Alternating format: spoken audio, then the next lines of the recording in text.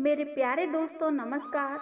दोस्तों, अक्सर का हम ये ही सुनते हैं कि बेटी की शादी हो जाने के बाद उसके ससुराल वाले बहुत ही खराब हैं, उसके ससुराल वाले बहुत परेशान करते हैं। तो दोस्तों, क्या कभी इन बातों को गहराई से जानने की कोशिश करी है? दोस्तों, आइए जानते हैं एक कहानी के माध्यम से। तो कहानी को अंत तक अवश्य सुनिए। दोस्तों, एक बेटी की नई नई शादी हुई थी और वो ससुराल से एक महीने बाद जब अपने मायके लौटी तो माँ के सामने बैठकर रोने लगी और आँसू बहाते हुए बोली, माँ, तुमने मुझे किस घर में पटक दिया है? वहाँ तो मेरी इज़्ज़त ही नहीं है। वहाँ कोई मेरी इज़्ज़त नहीं करता। सारा दिन नौकरानी की तरह रसोई में खड़ी रहती हूँ। किसी को भी दया नहीं आती मुझ पर। कभी सास ससुर की रोटी पकाओ तो कभी दो छोटे देवर की रोटियाँ पकाओ। एक ननद है, वो जब कॉलेज से लौटे तो उसके लिए भी रोटियाँ पकाओ। और तो और, आए दिन सासू माँ के रिश्तेदार आते रहते हैं। उन सब के लिए भी मुझे ही चाय नाश्ता वगैरह तैयार करना पड़ता है। रोज गंदे कपड़ों के ढेर इकट्ठे हो जाते हैं। आराम ही नहीं मिलता। ज़िंदगी नरक हो गई है। ननद को बिस्तर पर बैठे बैठे ही सब कुछ चाहिए। जानती हो माँ, अभी कुछ दिन पहले मुझे अपने पति पर तब गुस्सा आया जब उन्होंने महीने की पूरी तनख्वाह सासू माँ के हाथों पर रख दी और मुझसे ये कहा कि तुम्हें जो कुछ भी चाहिए, वो एक पर्ची में लिख देना, मैं शाम को लौटते हुए ले आऊँगा। तो उस बेटी की बातों को ध्यान से सुनकर माँ ने थोड़ा सोच कर कहा तो तुम क्या चाहती हो? तो उस बेटी ने जवाब दिया कि, माँ मुझे उन सबके साथ नहीं रहना है। बस मैं और मेरे पति, हम दोनों ही अपनी एक अलग गृहस्थी बसा लें। कुछ ऐसा उपाय बताओ। तो माँ चौंक गई और बेटी से कहने लगी कि बेटा, तुम्हारे पास दो ही रास्ते हैं। एक तो तुम वहीं रहो और उन सबकी सेवा करो। क्योंकि वह परिवार भी अब तुम्हारा ही है। और अगर तुम चाहती हो कि तुम अपने पति को किसी किराए के मकान में ले जा सकती हो, वहाँ तुम्हें किसी का खाना नहीं पकाना पड़ेगा, किसी के कपड़े नहीं धोने पड़ेंगे। पति की पूरी तनख्वाह भी तुम्हारे हाथ में आएगी। लेकिन ये याद रखना, जब तुम्हारे कोई पुत्र होगा, उसकी भी शादी होगी। जब तुम्हारे घर में भी बहू आएगी, तब उस वक्त तुम यही चाहोगी, तब उस वक्त भी तुम यही चाहोगी कि मेरा बेटा और मेरी बहू मेरे साथ ना रहकर कहीं और रहे अलग। या ये चाहोगी कि मेरा बेटा और मेरी बहू मेरे ही साथ रहे और तुम अपने नाती पोतों के साथ खेलना चाहोगी। प्यास लगने पर मेरे नाती दौड़कर मेरे पास पानी का गिलास लिए आएँगे। कोई चश्मा ढूंढकर मेरे हाथ में थमा देगा, कोई कहेगा दादी जी खाना बन चुका है, थाली लग गई है, आओ, हम सब मिलकर खाएँगे।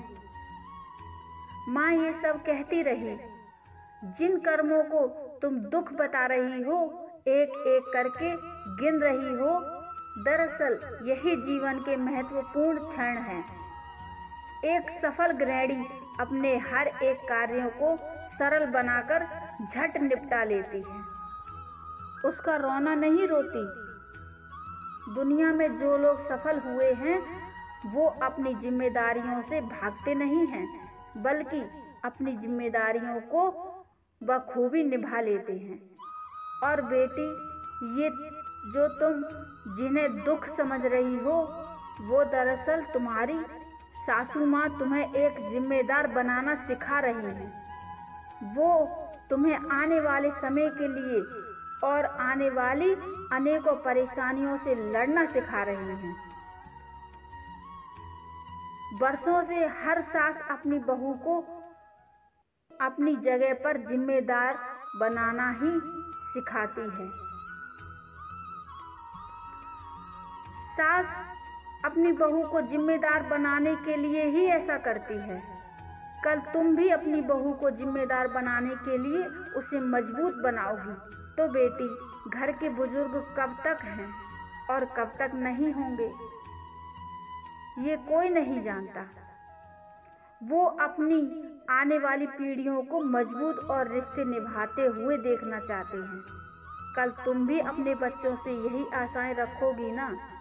तो बेटी की आँखों में आँसू आ गए और उसी वक्त बेटी ने अपना बैग उठाया और बोली, बस माँ, बस, मैं समझ गई हूँ। आपकी बातों में अनमोल सीख है। मैं चली अपने ससुराल। शाम होने वाली है। सासू माँ के पैरों में दर्द रहता है। उनके घुटनों की मालिश भी करनी है। तो वो बेटी इतना कहकर मुस्कुराती हुई ससुराल की ओर चल दी। वहीं दूसरी ओर माँ अपनी बेटी की समझदारी पर मुस्कुरा रही थी। तो दोस्तों, आपने इस कहानी में सुना कि किस तरह से एक माँ ने अपनी बेटी को कितना अच्छा रास्ता दिखाया। तो इसी तरह से यदि हर माँ अपनी बेटी को यही समझाए, यही सिखाए तो शायद किसी घर में कलेश कलह हो ही ना। दोस्तों, ये जो परिवार होता है, ये जो सास, ससुर, ननद, देवर, जेठ, ये होते हैं, ये किस्मत वालों को ही मिलते हैं। और ये केवल एक बहू की ज़िम्मेदारी नहीं होती है, ये सास की भी ज़िम्मेदारी होती है कि सास को भी अपनी बहू को बेटी समझना चाहिए और बहुओं को भी सास को अपनी माँ के समान ही समझना चाहिए, बल्कि उनको अपनी माँ से बढ़कर समझना चाहिए। दोस्तों, एक माँ अपनी बेटी को पालती है, बड़ा करती है। एक माँ अपनी बेटी को ससुराल जाने तक का सब सिखा देती है, लेकिन एक सास अपनी बहू को उसे जीवन जीना सिखाती है। जीवन में कठिनाइयों से लड़ना सिखाती है कि किस तरह से जीवन में जब कठिनाइयाँ आती हैं तो हमें उनसे लड़के, उनसे पार होना है। और हमें अपना जीवन एक सफल गृहिणी की तरह बिताना है और इस घर को स्वर्ग बनाना है। दोस्तों, यदि सास ससुर हैं तो आपके बच्चों को दादी बाबा का या दादी दादा का प्यार मिलेगा।